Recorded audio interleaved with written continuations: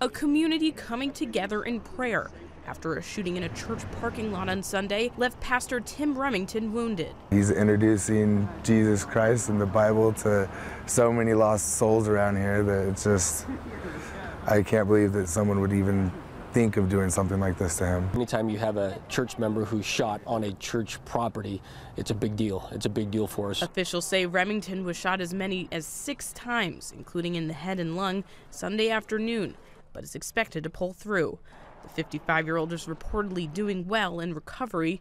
Members of the community are stunned. It's a shock to us all to see such a great, godly man um, to been shot like this. There's a lot of people who are hurting really bad right now over this, but a lot of people who are believing that God has a, a plan.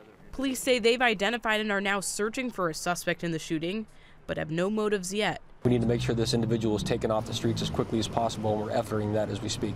Remington had prayed a day before with Republican presidential candidate Ted Cruz at a campaign stop in the area. Officials say the pastor had been threatened several times before by drug addicts that he had tried to help through his faith based recovery program. Emily Roseman, Associated Press.